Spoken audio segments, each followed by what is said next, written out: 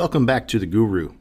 Today I'm going to show you how to add a whitelisted domain to Google Classroom inside of your Google Apps for Education domain, which will allow your students and teachers to connect and to join classrooms in other Google Apps domains and vice versa. So the first thing I'm going to do once I'm signed into my Google Apps admin console is go into Apps and then go into Google Apps where we'll find the Classroom app. Now in this case I have it turned on for everybody so this change is going to affect everyone.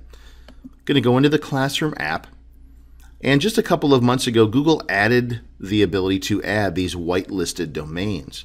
So I'm going to select that option here in the settings.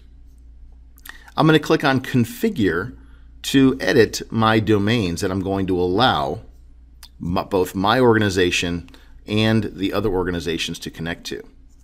So I'm going to put in here anydomain.com, click add, and then make sure I save my changes down here in the lower right hand corner. Now once I do that, I want to go back into my apps,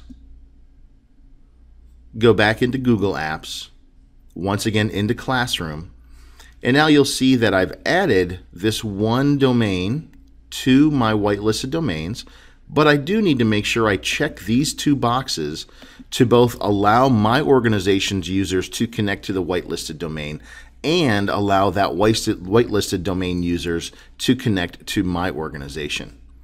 Once I've selected those two boxes, I click on Save Changes at the bottom, and now my teachers and students can join classes in other domains outside of my organization's domains, and they can also allow teachers and students to join classes inside of my organization from outside of my organization. I hope you found this useful. If you have any questions or comments about anything related to this video, please leave them in the comments section down below. Thank you and have a fantastic day.